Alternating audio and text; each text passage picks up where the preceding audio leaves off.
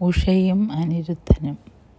എന്നെ ചെറുതിലെ ആകർഷിച്ച ഒരു കഥയാണ് ആകർഷിച്ചത് അത്ഭുതപ്പെടുത്തിയതുമായ ഒരു പുരാണ കഥയാണ് ഉഷയുടേത്.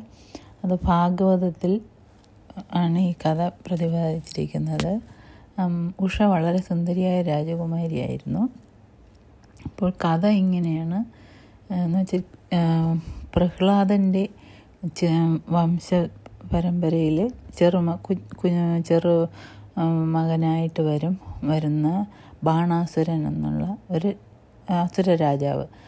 ബാണാസുരന് ആയിരം കൈകളൊക്കെ ഉണ്ട് വളരെ ശക്തിമാനായ ഒരു രാജാവാണ്. അപ്പോൾ അതിന്റേതായ ഒരു അഹങ്കാരവും ബാണാസുരനുണ്ട്. കൂടാതെ ബാണാസുരന്റെ രാജ്യം മഹാദേവൻ തന്നെ കാവൽക്കാരനായി നിന്ന് രക്ഷിച്ചു കൊള്ളാമെന്നുള്ള ഒരു വരവും കിട്ടിയിട്ടുണ്ട്. ഇതും കൂടി ആയപ്പോൾ ബാണാസുരൻ ആരെയും ഭയക്കേണ്ടതില്ല. വളരെ ഇച്ചിരി അഹങ്കാരത്തോടെ ജീവിക്കുന്ന ഒരു അസുര രാജാവാണ് ആ രാജാവിന്റെ പുത്രിയാണ് ഉഷ. ഉഷയാണെങ്കിൽ വളരെ അതിസുന്ദരിയായ രാജകുമാരിയാണ്. അപ്പോൾ ഒരിക്കൽ ഉഷ ഉഷയ്ക്ക് സ്വപ്നത്തിൽ ഒരു സ്വപ്ന ദർശനം ഉണ്ടാകുന്നു അതിലൊരു വളരെ ഭംഗിയുള്ള ഒരു രാജാവിനെ കാണുന്നു. അപ്പോൾ ആ രാജകുമാരനോ പ്രഥമ ദൃഷ്ട്യാ തന്നെ അവർ അനുരക്തരാകുന്നു. അപ്പോൾ കുറേ സമയം അവർ സ്വപ്നത്തിൽ ഒരുമിച്ച് ജീവിക്കുന്നു. സ്വപ്നം കഴിഞ്ഞ് ഉണരുമ്പോഴും ഉഷയ്ക്ക് യഥാർത്ഥത്തിൽ താൻ ആ സ്വപ്നത്തിൽ കണ്ട യുവാവുമായി അനുരക്തിയാണെന്നുള്ളൊരു തോന്നൽ വിട്ടുമാറുന്നില്ല. അത്രത്തോളം തീവ്രമായ അനുരാഗമായിരുന്നു ആ സ്വപ്നത്തിൽ കണ്ട പുരുഷനോട് ഉഷയ്ക്ക് തോന്നിയത്. പിറ്റേ ദിവസം രാവിലെ താൻ സ്വപ്നത്തിൽ കണ്ട പുരുഷനെയും ആലോചിച്ചുകൊണ്ട് വിഷാദവതിയായി കണ്ണീരോടെ ഇരിക്കുകയാണ് കരഞ്ഞുകൊണ്ട്. അപ്പോൾ ഉഷയുടെ ഉഷയുടെ ഒരു ആത്മമിത്രമുണ്ടാണ് ചിത്രലേഖ എന്നാണ് പേര്. ചിത്രലേഖയ്ക്കും അപാരമായ വളരെ വിശിഷ്ടമായ കുറേ കഴിവുകളൊക്കെ ഉള്ള ഒരു കൂട്ടുകാരിയാണ്. അപ്പോൾ ചിത്രലേഖ കടന്നു വരുമ്പോൾ കാണുന്നത് വിഷാദവതിയായിരിക്കുന്ന ഉഷയെയാണ്. ചിത്രലേഖ ഉഷയുടെ ദുഃഖത്തിന്റെ കാരണം ആരായിരുന്നു? കരയുന്നതെന്ന് ചോദിക്കുമ്പോൾ ഇങ്ങനെ ഞാൻ സ്വപ്നത്തിലൊരു പുരുഷനെ കണ്ടു. എനിക്ക് വളരെ സ്നേഹമാണ്. എനിക്ക് എങ്ങനെയെങ്കിലും ആ ആ പുരുഷനോടൊത്ത് ജീവിക്കണമെന്ന് പറയുന്നു.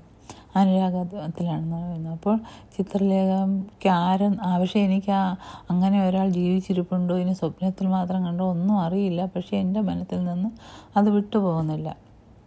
അപ്പോൾ ചിത്രലേഖ പറയാൻ ഒരു കാര്യം ചെയ്യാം. ഞാൻ എല്ലാ എനിക്കറിയാവുന്ന നല്ല രാജകുമാരന്മാരുടെയൊക്കെ ഫോ പടം വരച്ചു തരാം നിനക്ക് അവരുമായിട്ട് സാമ്യം തോന്നുന്നെങ്കിൽ പറയുക എന്ന് പറഞ്ഞ്. ചിത്രലേഖ ദേവന്മാരുടെയും ഗന്ധർവന്മാരുടെയും ഒക്കെ പടം വരച്ച് കാട്ടുന്നു. അപ്പോൾ അതിലൊന്നും ഉഷ കണ് സ്വപ്നത്തിൽ കണ്ട പുരുഷനില്ല. ചിത്രലേഖ ശ്രീകൃഷ്ണന്റെ പടം വരയ്ക്കുന്നു. അപ്പോൾ പറയുന്നു അദ്ദേഹവുമല്ല. അപ്പോൾ ശ്രീകൃഷ്ണന്റെ മകൻ പ്രദ്യുമ്നന്റെ പടം വരച്ച് കൊടുക്കുന്നു. അപ്പോൾ പറഞ്ഞു ഏകദേശം ഇതുപോലെയൊക്കെയാണ് പക്ഷേ അല്പം കൂടി ചെറുപ്പമാണ്. അപ്പോൾ പ്രദ്യു ഉഷ ഉഷയ്ക്ക് ഏകദേശം കാര്യം മനസ്സിലായി. അങ്ങനെ അനിരുദ്ധന്റെ പടം വരയ്ക്കുന്നു. അപ്പോൾ ഉഷയ്ക്ക് ഉഷ പറയുന്നു ഇതാണ് ഇദ്ദേഹത്തെയാണ് ഞാൻ കണ്ടതെന്ന് പറയുന്നത് എന്നിട്ട് ഉഷ വീണ്ടും ദുഃഖിതയായിരിക്കുകയാണ്. അപ്പോൾ ചിത്രലേഖ ഉഷയെ സമാധാനിപ്പിക്കുന്നു. നീ വിഷമിക്കണ്ട. ഞാനൊരു പരിഹാരം കണ്ടെത്തിയിട്ടുണ്ട്. അപ്പോൾ എന്നിട്ട് അവളുടെ കണ്ണിലെ തിളക്കം കാണുമ്പോൾ ഉഷയ്ക്ക് മനസ്സിലാകുന്നു. എന്തോ അമാനുഷികമായ രീതിയിൽ തന്റെ സ്വപ്നം സാക്ഷാത്കരിക്കാനുള്ള പദ്ധതി ചിത്രലേഖയുടെ മനസ്സിൽ തെളിഞ്ഞു എന്ന്. അത് പ്രകാരം ചിത്രലേഖ ചിത്രലേഖ ഉഷയോട് പറയുന്നു നീ സമാധാനിക്ക്. രാത്രി ആവട്ടെ. ഞാനൊരു പോംവഴി കണ്ടെത്തിയിട്ടുണ്ട് എന്ന് പറയുന്നു. അങ്ങനെ രാത്രിയാകുമ്പോൾ ചിത്രലേഖയ്ക്ക് ഇഷ്ടമായ കഴിവുകളുണ്ടെന്നു ചിത്രലേഖ മനസ്സിന്റെ വേഗത്തിൽ അവിടെ എത്തുകയും അനിരുദ്ധനെ വഹിച്ചുകൊണ്ട് ഉഷയുടെ പിന്നെ മുറിയിൽ കൊണ്ട് കിട കിടക്കയിൽ കൊണ്ട് കിടത്തുകയും ചെയ്യുന്നു. അപ്പോൾ അനിരുദ്ധൻ ഉറങ്ങി എണീക്കുമ്പോൾ കാണും നോക്കും താൻ സ്വപ്നത്തിലാണോ? തന്റെ കൊട്ടാരമല്ല തന്റെ മുറിയല്ല. അതെവിടെയാണ് നോക്കുമ്പോൾ വളരെ അതിസുന്ദരിയായ ഉഷ പതുക്കെ ലജ്ജാവതിയായി വരുന്നു. അപ്പോൾ അനിരുദ്ധന് ഞാൻ വീണ്ടും ഞാൻ സ്വപ്നത്തിലാണോ എന്ന് പറഞ്ഞ് കണ്ണു തിരുമ്പി നോക്കുന്നു. പക്ഷേ സുന്ദരമായ ഒരു സ്വപ്നം. ഈ സ്വപ്നമാണെങ്കിൽ തന്നെ ഇത് തുടരട്ടെ എന്നുള്ളൊരാഗ്രഹം ഉണ്ടാവുന്നു മനസ്സിൽ. കാര്യം അനിരുദ്ധനും ഉഷയോട് പ്രഥമ ദൃഷ്ടി അനുരാഗോദിക്കുന്നു. അതുകൊണ്ട് അവർ സന്തോഷമായി പരസ്പരം ആകൃഷ്ടരായി ഇരിക്കുന്നു. ഇങ്ങനെ അവർ പരസ്പരം ആകൃഷ്ടരായി. കുറച്ച് ദിവസം ആരും അറിയാതെ തന്നെ ചിത്രലേഖയുടെ സംരക്ഷണത്തിൽ സമാ സന്തോഷമായി ജീവിക്കുന്നു. അപ്പോൾ ഒരു ദിവസം അപ്രതീക്ഷിതമായി ബാണാസുരന്റെ ഒരു അനുചരൻ ഒരു യുവാവിനെ അവിടെ കാണുകയും ഉഷയുടെ മുറിയിൽ കാണുകയും അത് ഉടനെ തന്നെ രാജാവിന്റെ ചെവിയിലെത്തിക്കുകയും ചെയ്തു. അങ്ങനെ ബാണാസുരൻ വന്ന് നോക്കുമ്പോൾ അനിരുദ്ധനെ കാണുന്നു. ഉടനെ തന്നെ അനിരുദ്ധനെ പിടിച്ച് തുറുങ്കിലടയ്ക്കുന്നു അപ്പോൾ ദ്വാരകയിൽ അനിരുദ്ധന്റെ തിരോധാനത്തിൽ ആളുകൾ സംഭ്രാന്ത സംഭ്രാന്തരായി കഴിയുകയാണ്. പെട്ടെന്നുള്ള തിരോധാനം എങ്ങനെ സംഭവിച്ചു എന്നറിയാതെ വിഷമിക്കുന്നു. അപ്പോൾ നാരദൻ അവിടെ കടന്നു ചെല്ലുകയും നാരദൻ പറയുന്നു പറഞ്ഞു കൊടുക്കുന്നു എങ്ങനെയാണ് എന്തൊക്കെയാണ് സംഭവിച്ചതെന്ന് പറയുന്നു. അപ്പോൾ ബലരാമനും ആകെ ബലരാമൻ ശ്രീകൃഷ്ണനോട് പറയുന്നു ചേട്ടാ ഇത് ഇതൊരു വല്ലാത്ത കുരുക്കായപ്പോൾ നമുക്ക് എങ്ങനെയെങ്കിലും രക്ഷിക്കണം. അപ്പോൾ എങ്ങനെയെങ്കിലും രക്ഷിക്കണമെന്ന് പറയുമ്പോൾ ശ്രീകൃഷ്ണൻ പറയുന്നു എല്ലാം എല്ലാം കാരണങ്ങൾ എല്ലാം ഉണ്ടാവാൻ എല്ലാ കാരണങ്ങൾക്കും ഒരു എല്ലാ സംഭവങ്ങൾക്കും ഒരു കാരണം കാണും ഒരു അർത്ഥം കാണും. അപ്പോൾ ഈ സംഭവം എന്തോ സൂചിപ്പിക്കുന്നത് നമ്മൾ ബാണാസുരന്റെ രാജ്യം പിടിച്ചടക്കാനുള്ള സമയമായി എന്നുള്ളതിന്റെ സൂചനയാവാം. അങ്ങനെ ബലരാമനും ശ്രീകൃഷ്ണനും പ്രദ്യുമ്നും ഒക്കെ കൂടി സൈന്യത്തോടൊപ്പം ബാണാസുരന്റെ കൊട്ടാരത്തിലേക്ക് പോകുന്നു രാജ്യത്തേക്ക് പോകുന്നു. പക്ഷേ അവിടെ അവിടെ ചെല്ലുമ്പോൾ പ്രദ്യു ബാണാസുരനൊരു വരം കിട്ടിയിട്ടുണ്ടല്ലോ. മഹാദേവൻ തന്നെ തന്റെ രാജ്യം രക്ഷിച്ചുള്ള കാവലായി കാവലായി നിൽക്കാമെന്നുള്ള ആ വരം പ്രകാരം രാജ്യം ശിവൻ മഹാദേവൻ രക്ഷിക്കും. അപ്പോൾ എതിരിടേണ്ടത് ശരിക്കും ശ്രീകൃഷ്ണനും പരമശിവനുമാണ്. അപ്പോൾ അവർ അവിടെ ചെല്ലുമ്പോൾ പരമശിവന്റെ മകൻ കാർത്തികേയനും ശ്രീകൃഷ്ണന്റെ മകൻ പ്രദ്യുമ്നുമായി ഏറ്റുമുട്ടുന്നു ആദ്യം. അപ്പോൾ അത് ദൈവങ്ങൾ തമ്മിലുള്ള യുദ്ധം പോലെയായി.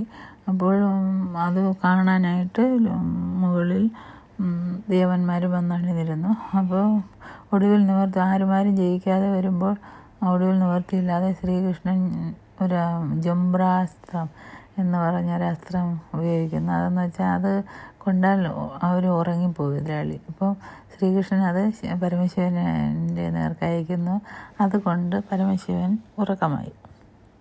അപ്പോൾ സാത്വികയുമായി യുദ്ധത്തിൽ ഏർപ്പെട്ടുകൊണ്ടിരുന്ന ഇരുന്ന ബാണാസുരൻ ഇത് കാണുകയും ബാണാസുരൻ കൃഷ്ണനോട് നേരിട്ട് എതിർക്കാൻ വരുന്നു. അപ്പോൾ ശ്രീകൃഷ്ണൻ തന്റെ അപ്പോൾ ശ്രീകൃഷ്ണൻ തന്റെ സുദർശന ചക്രം വീശുകയും അത് അത് ചെന്ന് ബാണാസുരന്റെ ആയിരം കരങ്ങൾ ഛേദിക്കുകയും ചെയ്യുന്നു. അപ്പോൾ പരമശിവൻ ഇപ്പോൾ ഈ സമയം ഉണരുകയും പരമശിവനിൽ വാഗ്ദാനം കൊടുത്തിട്ടുണ്ടല്ലോ ബാണാസുരനെ രക്ഷിക്കാമെന്ന്. അപ്പോൾ ബാണാസുരൻ പെട്ടെന്ന് ശ്രീകൃഷ്ണനോട് പറയുന്നു ഹരിതകൃഷ്ണ അവൻ എന്റെ ഭക്തനാണ്.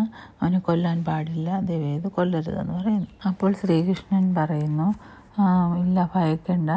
കാര്യം ഇദ്ദേഹം പ്രഹ്ലാദന്റെ കുഞ്ഞുമകനാണല്ലോ പരമ്പരയിൽപ്പെട്ട രാജാവാണല്ലോ ബാണാസുരൻ അപ്പം ഞാൻ പ്രഹ്ലാദന് പണ്ട് വാക്ക് കൊടുത്തിട്ടുണ്ട്.